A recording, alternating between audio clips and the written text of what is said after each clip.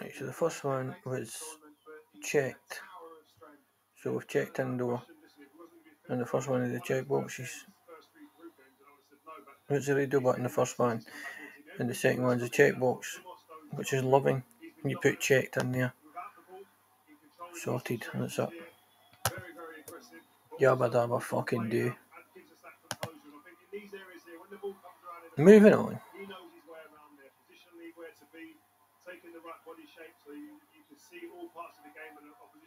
Div element is probably the most commonly used HTML element though. Just like any other non-self closing element, you can open a div element with a div tag and close it on another line with a closing div tag.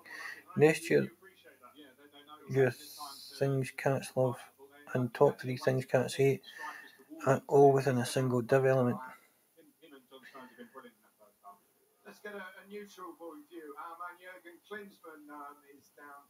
Right, so things cats love within a div. What a goal, what an atmosphere. I mean, it was rocking. This thing was rocking here.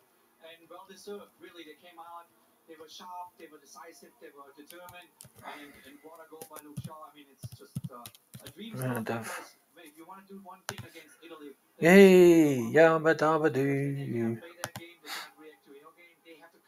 Declare the Doctype of an HTML document. The challenge so far so far specific HTML elements and their uses. However, there are a few elements that give overall structure to your page and should be included in the HTML document. At the top of your document, you need to tell the browser which version of HTML your page is using. HTML is an evolving language and is updated regularly. Most major browsers support the latest specification, which is HTML5. However, older web pages may use previous versions of the language. You tell the browser this information by adding doc type HTML tag in the first line where the part of this version for HTML you use doc type. The exclamation mark in the uppercase doc type is important, especially for older browsers. The HTML is not case. Next, rest Next, the rest of your HTML code needs to be wrapped in HTML tag. The HTML tag goes directly below HTML, doc type HTML closing at the end of the page. Here's an example.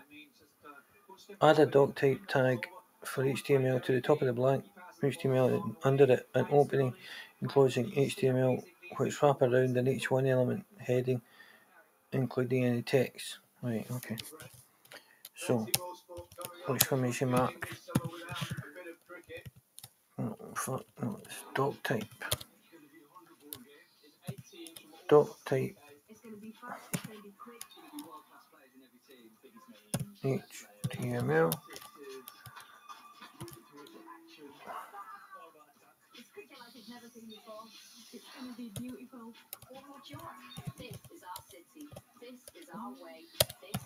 HTML and a closing.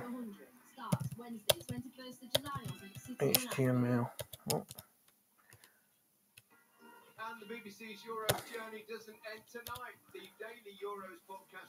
Add a doc type tag for HTML to the top of the blank page. Add an opening closing HTML tag, which was done, which wrap around in H1 element.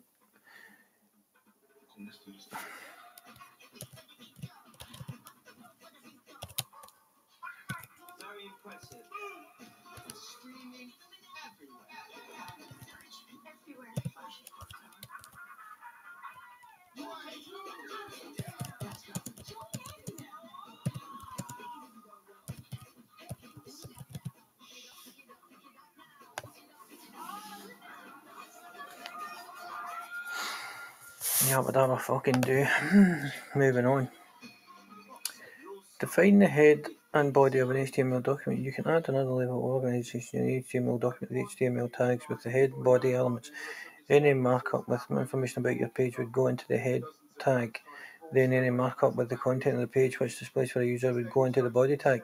Metadata such as links, meta, title, and style typically go inside the head element. Here's an example doc type HTML, HTML head, metadata, closing head, body, div, closing div, closing body, closing HTML. Edit the markup so there's a head and a body. The head element should only include the title and the body element should only include H1 and P.